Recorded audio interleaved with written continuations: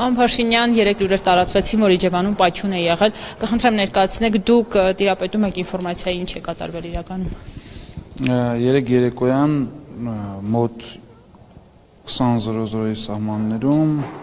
բարձր պայթյունի ձեն է լսվել ոչ միայն Իջևանում, այլ լսվել է նաև այդ ձայնը Նոյեմբերյանում, Դիլիջանում, Բերթում նաև գրառումներ կար, որ նաև Վանաձոր քաղաքում է լսվել, որովից է արտարոզ դեպք, այսինքն որովից է Տավուշի մարզի մարզում որովից է բան չի գրանցվել եւ դա եղել է օթային զորավարժությունների հետևանքով, այսինքն հավանաբար կործանիչ է եղել, որը ինչ որ ֆունկցիա ունի եւ մանևրել է հավանաբար կամ մանրամասներին տեղյակ չեմ, բայց ամեն դեպքում կարող եմ պնդել եւ հստակ հայտարարել, որ որևիցե մարդու եւ որևիցե տեղ վնաս, որևիցե բան չի կրել։